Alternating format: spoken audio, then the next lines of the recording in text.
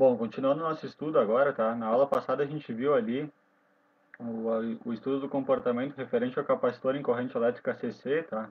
Onde o que nos interessava era o, o regime permanente, o regime transiente ali da resposta, né? Da aplicação ao degrau ali, mesmo até porque o, em regime permanente ali o, o capacitor ele era um circuito aberto, tá? Em corrente CC, então basicamente nos interessava o regime transiente ali, após ligar ou desligar a chave ali com a tensão CC. Quando a gente estiver trabalhando com tensão AC senoidal, tá? É justamente o oposto, vai nos interessar o regime permanente, tá? Porque agora o capacitor ele se comporta no regime permanente como uma reatância capacitiva, tá? Como uma impedância ali para a corrente elétrica C, e não mais um circuito aberto. Já o regime transiente aqui, que vai ter também exponencial aqui, não nos interessa tanto nessa parte aqui. Uh, bom, então, considerando que eu apliquei, tá, uma, uma tensão elétrica de, que varia de acordo com uma função senoidal, tá, esse estudo aqui, ele, ele é válido aqui, né, para reatância, para descobrir a, a reatância capacitiva do capacitor, a gente vai chegar nessa expressão, mas isso aqui é válido, é importante frisar que é válido para uma tensão ou corrente senoidais, tá, seno ou cosseno, quando eu falo senoidais, tá, e não outras formas de onda, tá. Então, começando aqui com uma tensão aplicada aqui, tá, um cosseno, com esse valor de pico aqui e essa fase aqui que eu chamei de φ, né, para tensão aqui. Eu posso, quando eu estiver na representação de cosseno aqui, eu posso estar passando dessa, dessa representação no domínio do tempo, né, dessa senoide, para uma representação fasorial, tá? Que tensão e corrente podem ser representados como fasores, né? Menos a impedância, tá? A impedância não, não é um fasor. Mas a tensão ou a corrente aqui, como elas variam no tempo de acordo com uma função senoidal, eu posso representar como um fasor.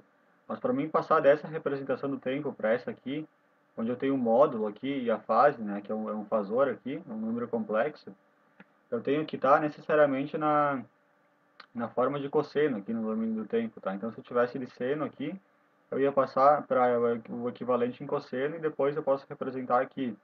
Então, como eu já estou em cosseno aqui, eu pego simplesmente o módulo, tudo que multiplica o cosseno, vai ser o módulo aqui e a fase vai ser esse cara aqui, tá? Vai ser o, o argumento aqui do, do, do cosseno aqui. Bom, a gente sabe que a, que a expressão que relaciona a tensão e corrente no capacitor é essa daqui. Então, se eu derivar essa tensão aqui no tempo, eu vou obter a expressão para a corrente no tempo, né? Uh, ela é C vezes V max, ômega seno de ômega t mais φ, né? Derivado de um cosseno vai ser, obviamente, um seno. Só que para mim representar a corrente aqui também, nesse, desse jeito aqui, né? No, de, de, acordo com como um fasor, né? Com módulo de fase, eu tenho que passar essa representação de seno para equivalente dela em cosseno. Como a função seno e cosseno são funções idênticas ali, né, do ponto de vista da gráfico, né, eu posso representar esse cara aqui como um cosseno, somando simplesmente 90 graus na fase, né, porque a diferença entre as duas funções é simplesmente a defasagem de 90 graus, não são funções iguais, né. Então, passando dessa representação aqui, pra, né, isso aqui é uma, é uma identidade trigonométrica que eu usei, tá, para passar de, de seno para o equivalente aqui em cosseno. Então, agora, eu tenho o, o eu posso tá, representar agora essa corrente elétrica de acordo com, com essa notação aqui fasorial que eu tinha antes aqui. Então, uh, eu pego o módulo, que é tudo que multiplica o cosseno aqui, e a fase, né, é o meu fio mais 90, eu vou ter aqui. Então, para mim uh, determinar a expressão da, da reatância capacitiva, né, ou impedância do capacitor em corrente AC, eu faço simplesmente aquela regra, né, Z igual a V sobre I, né, o Z é a impedância do capacitor, assim como R igual a V sobre I, tá, é a mesma coisa. Tanto é que, a, que, a, que esse Z aqui, a dimensão dele é, é ohms, tá? Assim como o resistor é dado em ohms, a, a reatância capacitiva ou indutiva também são dados em ohms. Então, pegando aqui, né, eu passo aqui né, para a forma do para forma fasorial para facilitar a divisão aqui, né? Mais fácil do que trabalhar com esses caras no domínio do tempo. Então, uh, pegando a representação fasorial da tensão aqui, colocando ela aqui na expressão, e a representação fasorial da corrente aqui, eu corto Vmax com Vmax, vai me sobrar 1 sobre C ômega, né? E a fase aqui, né, é uma divisão entre dois números complexos. Então, a fase aqui do numerador, ela vai se subtrair da do denominador aqui. Então, vai ficar 1 sobre C ômega, ângulo de menos 90. Então, notem aqui que a impedância do capacitor aqui, ela é uma função da frequência, tá? Quanto maior a frequência, menor vai ser a impedância ou reatância capacitiva, né, que é a mesma coisa aqui do capacitor. E é por isso que a gente diz que ele atrasa ali a tensão em 90 graus em relação à corrente, tá? Justamente por causa uh, que eu tenho aqui tensão é um cosseno e a, corrente vai ser um seno, ou vice-versa, né? Aí é por isso que existe essa defasagem de 90 graus, mas isso é para a corrente elétrica C senoidal, tá? Uh, bom, uh, representar o, o, a impedância aqui nesse domínio aqui, né, para tensão em correntes senoidais, ela é bem interessante, né, melhor do que trabalhar no domínio do tempo. Mas se eu tiver outros sinais ali, como impulso, degrau, rampa, é mais que tem, né, esses, esses sinais ali que tem uma, uma transformada de Laplace já mapeadas ali, é mais interessante eu passar o representar o capacitor também no domínio S, tá? Para poder trabalhar com esses outros, para essa gama maior de sinais, tá? Não só a senoide, que era o caso aqui, mas aqui além da senoide eu posso trabalhar com esses outros sinais ali que eu citei, né? Então, partindo da definição aqui de tensão e corrente no capacitor, né, igual a CdVdt, eu simplesmente, tá? Se vocês olharem a como se aplica uma transformada de Laplace de uma derivada, vocês vão ver que, que, que eu vou chegar exatamente nessa expressão aqui, tá? E aí, fazendo a distributiva aqui, eu chego nessa expressão aqui. Isso aqui é uma condição inicial, que pode ter ou não no capacitor, tá? Que, que vem lá da, da regra lá de transformada de Laplace. E aí, isolando o V de S nessa expressão aqui, eu vou obter isso daqui, tá? Só que para a representação só do capacitor em si, eu vou considerar as condições iniciais nulas, tá? Se depois, quando eu estiver resolvendo um circuito elétrico, tiver condições iniciais do capacitor, eu posso tranquilamente considerar elas aqui. Mas como eu quero representar só a, o, o, efeito do componente em si no domínio S, eu vou considerar o capacitor do jeito que ele é, sem condições iniciais, tá? Então eu vou cortar esse termo aqui, supondo que eu tenho 0 volts aqui, né, de condições iniciais, uh, e votar, né, para obter o Z, né, a impedância do capacitor, eu vou dividir simplesmente tensão por corrente, né? A tensão é isso daqui, só esse termo aqui, eu desprezei esse, dividido pela corrente. Então eu vou cortar corrente com corrente, vai me sobrar simplesmente Z de S igual a 1 sobre SC, tá? Então, cada vez que tiver um capacitor e eu quiser representar ele no domínio S, eu vou fazer 1 sobre S vezes o valor dele aqui, que é o C, né? E aqui mostra as três representações possíveis para o capacitor, né? Eu posso representar ele como condições iniciais, se estiver lá resolvendo um circuito, a condição inicial, que é uma tensão V0 sobre S, ou eu posso dividir essa tensão por essa, pela reatância capacitiva do capacitor e estar tá representando em, em forma de fonte de corrente, né, que é o que está sendo mostrado aqui. Eu divido esse cara aqui por esse, eu vou estar obtendo esse cara aqui, né, que é a representação equivalente, né, análoga. Bom, uma aplicação interessante aqui, tá, pro, pro, pro uso de um circuito com capacitor é um integrador, tá. Eu consigo fazer o um integrador justamente por causa desse elemento ativo, que é o amplificador operacional, tá.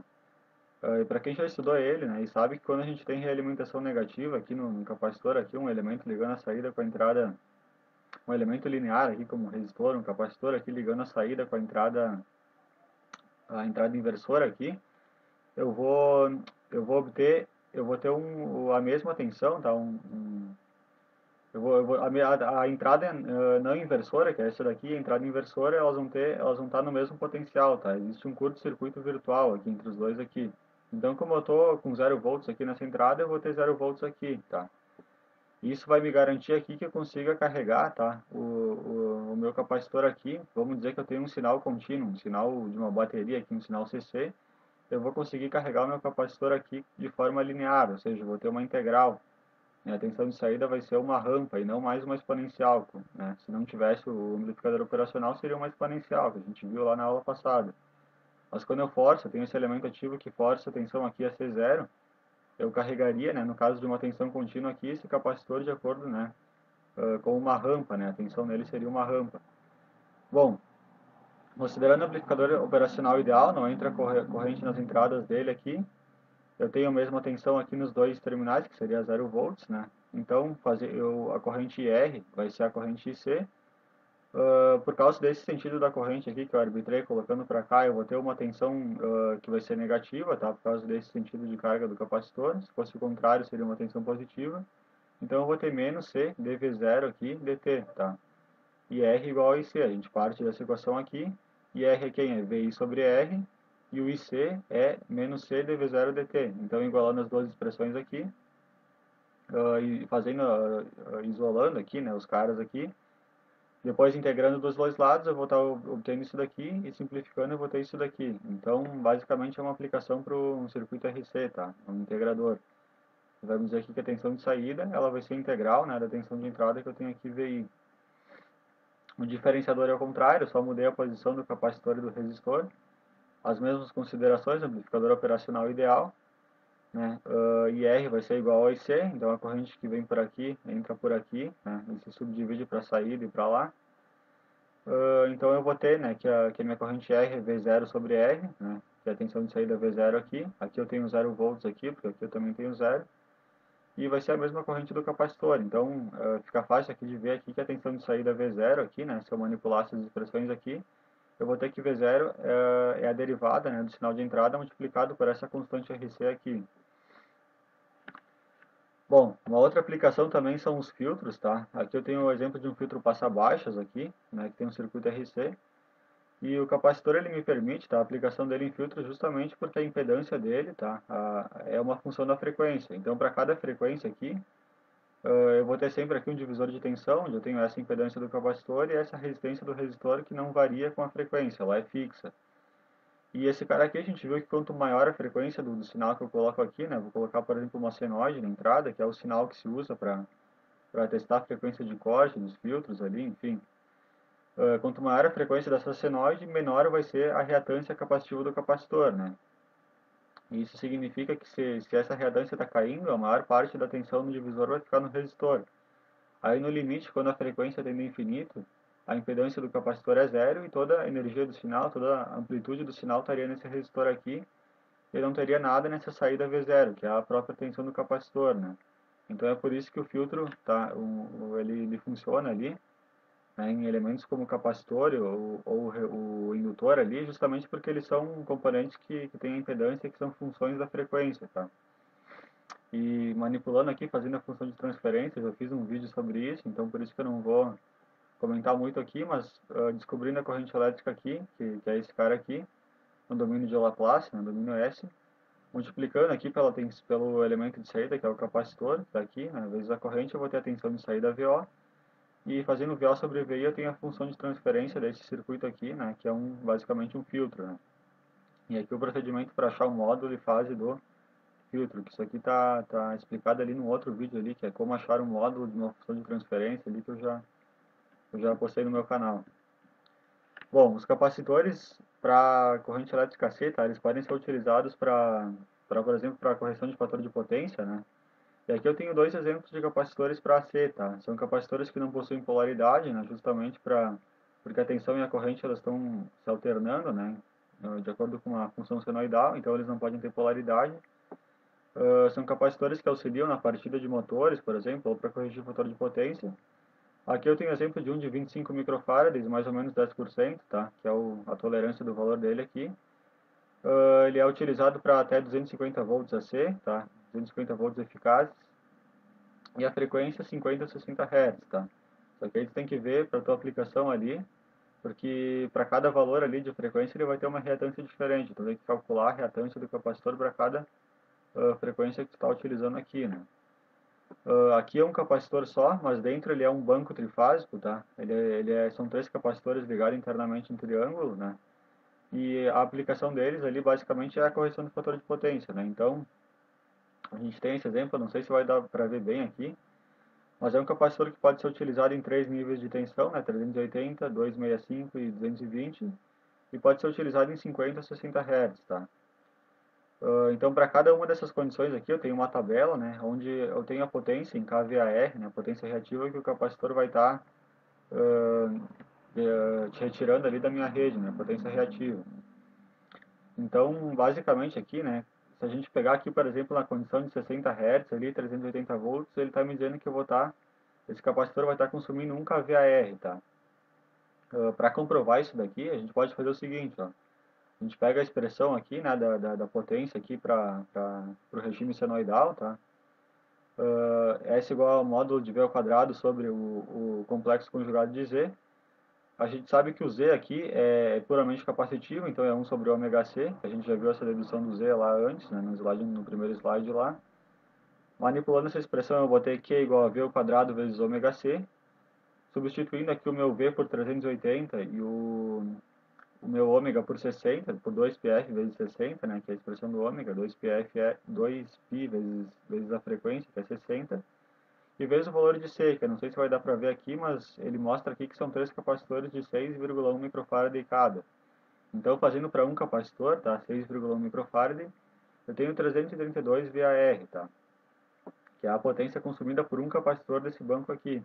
Se eu quiser saber para o banco trifásico, eu multiplico por 3, eu vou ter 996 VAR, que é igual a aproximadamente 1 kVAR, que é o que ele está me mostrando aqui, tá? Então, uh, a gente vê ali que para cada condição de, de frequência, né, o, como a reatância do capacitor varia, a gente vai ter uma, uma potência aqui consumida diferente, né? E obviamente que também para cada nível de tensão tu vai ter uma potência diferente. Então é isso que essa tabela está me dizendo aqui. Uh, falando agora da ESR, tá? A ESR, ela é uma, uma resistência séria ali que o capacitor tem, tá? Que todo componente, né, naturalmente tem uma resistência, né? Por menor que ela seja. O capacitor também tem a resistência associada dele, tá? Em série. Geralmente é um valor muito baixo, tá? Só que quando a gente está trabalhando em operações de alta frequência, tá? como por exemplo uh, capacitores que operam, que trabalham em fontes chaveadas ali na ordem de kHz ali, uh, a reatância do capacitor para essas frequências altas ela baixa, tá? Ela, ela vai ser pequena. E se tu tiver uma ESR meio elevada, uma resistência série meio elevada aqui, a reatância capacitiva do capacitor ela pode acabar ficando da mesma ordem de grandeza aqui dessa resistência, tá? Então, isso pode ser prejudicial aí no teu, no teu projeto, no teu circuito. Geralmente, tu não considera, tu tá lá considerando os teus cálculos, quando tem um capacitor, tu só tem um capacitor mesmo, tu não tem uma resistência séria.